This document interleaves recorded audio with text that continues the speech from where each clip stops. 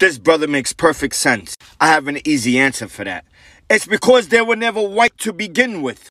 These are the real Jews. So please tell me, what part of Africa is this guy from?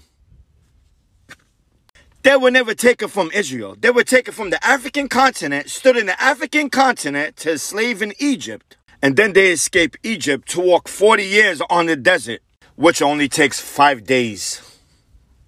So these Israelis are trying to say they've been there since the beginning of time, but yet they rate second highest in skin cancer.